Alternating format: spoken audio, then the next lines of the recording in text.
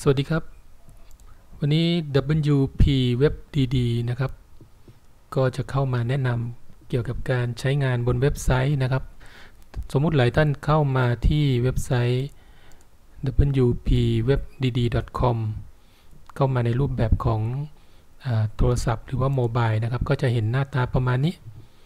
ในส่วนนี้ก็จะเป็นโลโก้ของบริษัทนะครับ ถ้าท่านใด ไม่อยากจะดูรายละเอียดเยอะก็คลิกโทร คลิกตรงนี้โทรหาเราได้เลยนะครับ ถ้าอยู่บนโทรศัพท์มือถือเนี่ย ก็สามารถคลิกโทรได้เลย หรือว่า add Line นะครับ add Line Official เข้ามาตรงนี้ หรือขอใบเสนอราคา เดี๋ยวผมจะทำให้ดูทีละเมนูนะครับมาดูเมนูหลักๆ ก่อนนะครับ สมมุติว่าถ้าต้องการจะดูข้อมูลบนเว็บไซต์ ถ้าในหน้าแรกก็หน้าตาประมาณนี้นะครับ ก็จะมีสไลด์ แนะนำเกี่ยวเรื่องการ รับทำเว็บไซต์ออกแบบเว็บไซต์นะครับ แล้วก็การทำการตลาดออนไลน์ ในปุ่มนี้ก็สามารถคลิกติดต่อเจ้าหน้าที่ก็คือคลิก add Line เข้ามาได้เลยนะครับ ในส่วนของการทำงานใน 3 ขั้นตอนก็คือ 1. ก็ท่านสามารถเลือกแพ็กเกจในการที่จะทำเว็บไซต์ หรือว่าทำการตลาดออนไลน์กับเรานะครับ ขั้นตอนที่ 1 คือเลือกแพ็กเกจขั้นตอนที่ 2 ก็คือขอใบเสนอราคานะครับขั้นที่ 3 ก็คือดำเนินการ ก็หมายความว่าเรามี เรามีแพ็กเกจให้เลือกเยอะนะครับ 1. แพ็กเกจราคาถูก สมมุติว่าเว็บไซต์ที่เราต้องการอาจจะทำต้องการทำหนึ่งสักหนึ่งหน้านะครับ ราคาก็อยู่ 1,500 บาทนะครับ ส่วนรายละเอียดเราก็คลิกไปดูครับ คลิกไปดูรายละเอียดว่าเว็บไซต์ราคาถูกเนี่ย1,500บาทนะครับกับ2,500เนี่ยมีหน้าตาประมาณไหน อันนี้ก็จะเป็นรูปแบบของ ลูกค้าที่เคยทำไว้นะครับ ก็ไล่ลงมาประมาณนี้นะ ให้เป็นตัวอย่างว่ามีลูกค้าทำประมาณนี้ ส่วนหน้าตาของเว็บไซต์ที่ราคา 1,500 บาทนะครับ ใช้งานได้ 1 ปีนะครับเนี่ย ก็จะมีหน้าตาประมาณนี้ก็คือ ด้านบนก็จะเป็นรูปแบนเนอร์ ก็คือท่านสามารถถ่ายรูปส่งมาแนวนอนนะครับ ถ่ายรูปส่งมา 1 รูปเป็นแบนเนอร์แบบนี้ แล้วตรงนี้ก็จะเป็นรายละเอียดเกี่ยวกับตัวอักษร ข้อมูลนะครับขนาดสัก A4 ก็พิมพ์มาได้เลยว่าท่านทำกิจการอะไรนะครับ อยู่ที่ไหนอย่างไรนะครับ แล้วมีบริการอะไรบ้าง ด้านล่างของเว็บไซต์ก็จะเป็นปุ่มต่างๆนะครับ ที่ท่านมีอย่างเช่น ถ้ามีไลน์ก็ส่งลิงก์ไลน์เข้ามานะครับ ถ้ามีแฟนเพจก็ส่งลิงก์แฟนเพจเข้ามามี YouTube นะครับก็ส่งลิงก์ YouTube เข้ามา มีเบอร์โทรศัพท์ก็ส่งเข้ามา เพื่อที่ว่าเวลาลูกค้า สามารถที่จะเข้ามาคลิกนะครับ ครับทีนี้ถ้าเกิดว่าเราไล่ดูลงมาเรื่อยๆนะครับ ก็ตรงนี้เป็นปุ่มต่างๆนะถ้าราคา 2,500 ก็ตรงด้านบนก็จะเป็นรูปแบนเนอร์รูปหนึ่งนะครับ ถ่ายรูปแนวนอนมา จากนั้นข้างล่างนี้ก็จะเป็นรูปผลงานนะครับ สัก 10 รูปประมาณนี้เห็นไหมแล้วตรงนี้ก็จะเป็นปุ่มนะครับที่สามารถที่จะ add Line นะครับ add Face fanpage นะครับ แล้วก็คลิกโทรได้เลย นี่ก็คือแพ็กเกจราคาถูกนะครับ ราคาถูกหนึ่งก็พันห้าตรงนี้ก็จะมีเรื่องของการจดโดเมน1 ปีพื้นที่แชร์นะครับ แล้วก็รายละเอียดก็ตามนี้นะครับ จากนั้นเนี่ยสามารถที่จะกรอกขอใบเสนอราคาจากตรงนี้ได้นะกรอกขอใบเสนอราคาก็เลือกแพ็กเกจแล้วก็ติ๊กว่าฉันไม่ใช่โปรแกรมอัตโนมัตินะครับ แล้วก็คลิกขอใบเสนอราคา อันนี้ก็คือหน้าหนึ่งนะครับที่ที่ลิงก์เข้ามาเมื่อสักครู่นี้ถ้าเราย้อนกลับไปดูนะครับ ย้อนกลับไปเมนูเมื่อกี้เห็นไหมอ๋อโทษอันนี้เป็น เป็นเป็นหน้าหนึ่งที่เราเข้ามานะครับ ก็คือเข้ามาในส่วนของเว็บไซต์ราคาราคาถูกอ๋อโทษทีเมื่อกี้มามาจากปุ่มนี่นะมาจากปุ่มนี้นะครับรายละเอียด จากนั้นก็เซลล์เพจเหมือนกันนะครับ ก็สามารถคลิกเข้าไปดูรายละเอียดของเซลล์เพจก็รายละเอียดของเซลล์เพจก็จะมีรายละเอียดอยู่แต่ละหน้าแบบนี้ครับ แล้วก็มีเนี่ยครับขอใบเสนอราคาจากตรงนี้ได้เลย ทีนี้เวลาเราจะกลับจากหน้านี้ก็คือคลิกปุ่มนี้ครับก็ย้อนกลับไปนะทีนี้ทุกแพ็กเกจนะครับก็จะมีรายละเอียด อย่างที่แจ้งไม่ว่าจะเป็นอีคอมเมิร์ซรีสอร์ทโรงแรม e-learning นะครับสองภาษา อสังหาริมทรัพย์ เว็บไซต์องค์กรเป็นเว็บไซต์ขนาดใหญ่นะครับ รวมถึงว่าเรามีเว็บไซต์เสร็จแล้วนะครับ ต้องการจะทำโฆษณากับ Google หรือว่าโฆษณากับ Facebook นะครับ ถ้า Google ก็คือเราทำเว็บไซต์ แล้วก็ทำโฆษณานะทางเราก็จะรับทำโฆษณาให้ด้วยนะครับ แล้วก็ถ้าเกิดว่าให้เราทำ Facebook เสร็จแล้วนะครับ ตรงนี้เราก็จะมีรับทำโฆษณาเฟซบุ๊กแอดให้ด้วยนะครับ อันนี้อยู่ในหน้าแรกนะครับ ไล่ลงมาเรื่อยๆ ก็จะเป็นเรื่องของที่อยู่ติดต่อเบอร์โทร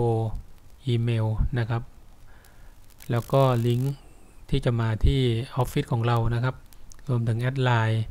เพิ่มเพื่อนนะ Line OA นะครับ แล้วก็มีเมนูต่างๆ มี DBD Register นะครับ แล้วก็รายละเอียดของธุรกิจของเรามีอะไรบ้าง แล้วก็บริการด้านการตลาดออนไลน์มีอะไรบ้าง ประมาณนี้ในส่วนของหน้าแรกนะครับ นี่ก็เฉพาะหน้าแรกนี่ก็ข้อมูลพอสมควรเลย ทีนี้มาดูในส่วนของเมนูที่เป็นตัว ตัวแท็บเล็ก ๆ นี่นะครับ พอคลิกเข้ามาก็จะเห็นว่าเรามีเมนูเกี่ยวกับเราผลงานบริการชำระเงินแล้วก็บทความแล้วก็ติดต่อนะครับ มีเมนูหลักอยู่ 1 2 3 4 5 6 7 7 เมนูนะครับ ทีนี้เมนูที่มีข้อมูลเพิ่มเติมก็จะเป็นเมนูบริการ พอคลิกเข้ามาแล้วนะครับ ก็จะเห็นว่าเรามีบริการทั้งdomain hosting บริการรับจดโดเมนนะครับ hosting นะครับ ถ้าเกี่ยวกับบริการทำเว็บไซต์ก็จะมี เว็บไซต์ที่เป็นองค์กรอสังหาริมทรัพย์ แยกเป็นแพ็กเกจนะครับ ก็เยอะพอสมควรทีเดียวนะครับ แล้วก็ในส่วนของการตลาดออนไลน์ก็มีรับทำ SEO ก็คือทำเว็บให้ติดหน้าแรก รับลงโฆษณา Google Facebook นะครับ แล้วก็รับทำ Line OA แล้วก็รวมถึงการรับดูแลเว็บไซต์ ในส่วนของงานการช่วยเหลือก็จะมีการสอนการใช้งานเว็บไซต์ แล้วก็มีคำถาม คำถามบ่อยๆนะครับคำถามที่พบบ่อยว่าลูกค้ามีปัญหาอะไร แล้วก็มีการนัดหมายออนไลน์ ก็หมายถึงว่านัดประชุมออนไลน์กันว่า ก่อนที่จะจัดทำเว็บไซต์นะครับ อย่างหลาย ๆ บริษัทเนี่ยก็จะขอประชุมเพื่อที่จะให้ทางเราเนี่ยครับ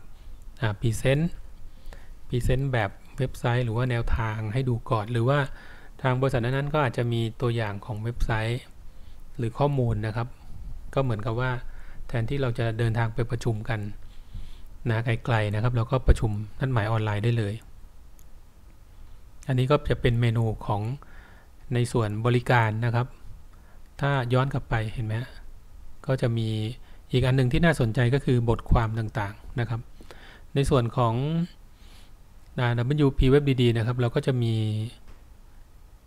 หน้าของเขาเรียกว่าคอนเทนต์เนื้อหาเนี่ยครับ เราก็จะมีการ อัปเดตบทความดีๆ นะครับตลอดอย่างเช่น 10 เว็บไซต์ที่คนไทยเข้ามากที่สุดในปี 2565 จาก Google Trend นะครับ มีเว็บไซต์อะไรบ้าง ก็สามารถคลิกเข้าไปอ่านได้เลยนะครับ แล้วก็การเพิ่มความปลอดภัยให้เว็บไซต์ด้วย Google Recaptcha นะครับ แล้วก็ยังมีบทความดีๆ อีกเยอะนะครับ ตอนนี้เยอะมากเลยนะ เราก็มีการอัปเดตข้อมูลดีๆ แบบนี้ตลอดเพื่อที่จะให้ หลาย ๆ ท่านได้ได้ข้อมูล รวมถึงเรื่องของการศึกษาวิธีการตั้งราคาเว็บไซต์ หลายท่านบอกว่าเอ๊ะทำไมเว็บไซต์ราคาเป็นแบบนี้แบบนี้แบบนี้ เพราะอะไรนะครับ ก็สามารถเข้ามาอ่านดูได้อย่างเช่น การตั้งราคาบริการสินค้าไอ้บริการเว็บไซต์มีหลายปัจจัยที่ต้องพิจารณาอย่างเช่นหนึ่งนะครับ ขนาดและความซับซ้อนของเว็บไซต์ ขนาดและความซับซ้อนของเว็บไซต์จะมีผลต่อราคานะครับ อย่างเช่น โครงการที่มีขนาดใหญ่มีความซับซ้อนมากต้องใช้เวลาและความรู้ความชำนาญในการสร้างเว็บไซต์เพิ่มเติมนะครับรวมถึงฟีเจอร์การทำงานอะไรต่างๆเห็นไหมระยะเวลาในการพัฒนานะครับ การออกแบบและส่วนประกอบของเว็บไซต์อย่างเงี้ยนะครับรวมถึงเทคโนโลยีและซอฟต์แวร์ในการใช้งาน การพัฒนา framework CMS module ต่างๆ ความสามารถของทีมพัฒนาด้วยอะไรเงี้ยครับก็จะมีค่าใช้จ่ายเนี่ยค่าใช้จ่ายเพิ่มเติมอย่างเช่น การซื้อ domain name ค่า hosting การออกแบบโลโก้ banner นะครับก็จะมีผลต่อราคาของการบริการ รวมถึงระยะเวลาในการดูแลรักษาเว็บไซต์นะครับ ว่าอาจะดูแลกันแบบไหนยังไง รวมถึงการบริการหลังการขายเห็นไหมครับ เพราะงั้นเนี่ยตรงหัวข้อนี้ก็จะเป็นหัวข้อที่ดีมาก ที่หลายท่านถามว่าเอ๊ะเรื่องของราคาเว็บไซต์เป็นยังไงนะครับ เราก็สามารถเข้ามาอ่านนะครับ หาความรู้ ดีๆ เกี่ยวกับเรื่องคอนเทนต์เกี่ยวกับเรื่องการทำเว็บไซต์ เกี่ยวกับเว็บไซต์อะไรต่างๆนะครับ ก็จะมีเยอะแยะเลยในส่วนนี้ แล้วก็มาดูอีกเมนูหนึ่งที่หลายท่านเนี่ยเข้ามาก็คือการขอใบเสนอราคาเนี่ยครับ ก็สามารถคลิกที่ปุ่มนี้แล้วก็เข้ามาขอใบเสนอราคาได้เลยใส่ชื่อนามสกุลอีเมลเบอร์โทรชื่อบริษัทเลขทะเบียนบริษัท แล้วก็งบประมาณที่ท่านตั้งไว้นะครับที่อยู่ จากนั้นก็ติ๊กว่าเราไม่ใช่โปรแกรมอัตโนมัตินะครับ ก็อาจจะมีทดสอบมีรูปอะไรขึ้นมาให้เลือก จากนั้นก็ขอใบเสนอราคาได้เลย หรือท่านต้องการจะได้ข่าวสารจากเราด้วยก็ติ๊กตรงนี้นะครับอ่าก็จะได้รับข่าวสารในแต่ละที่มีการอัปเดตประมาณนี้ เห็นไหมครับนี่คือหน้าตาของเว็บไซต์ที่เขาเรียกว่าเป็นแบบโมบายนะครับ คลิกตัวนี้ก็กลับไปหน้าแรก ดังนั้นเนี่ยถ้าเกิดว่าเว็บไซต์ของเรานะครับ มีการรองรับในส่วนของโมบาย ก็จะทำให้ลูกค้าที่เข้ามาในเว็บไซต์นะครับ ก็รู้สึกสะดวกในการเข้ามาดูข้อมูลนะครับบนมือถือเนาะเพราะนอกจากจะเข้าดูบนเว็บไซต์ทั่วไปแล้วนะครับ หรือว่าดูในแท็บเล็ต PC แล้วเนี่ยแต่ในยุคปัจจุบันนะครับ ส่วนใหญ่จะเข้ามาดูในเรื่องของมือถือหรือโมบายมากกว่านะครับ ดังนั้นวันนี้นะครับท่านที่สนใจจะทำเว็บไซต์นะครับกับทาง WP Web DD นะครับ ก็คือ เราก็จะมีรูปแบบของการทำเว็บไซต์เป็น responsive นะครับรองรับมือถือแท็บเล็ต PC นั่นเองนะครับ แล้วก็อย่าลืมนะครับท่านใดที่สนใจบริการก็ทักทายกันเข้ามาได้ แล้วก็ขอบคุณมากนะครับสำหรับทุกท่านที่ได้ติดตามนะครับคลิปวิดีโอนี้ ซึ่งเราตั้งใจที่จะทำเป็นคลิปแบบเรียวนะสำหรับคลิปแรกวันนี้ก็ขอบคุณมากนะครับที่ติดตามสวัสดีครับผม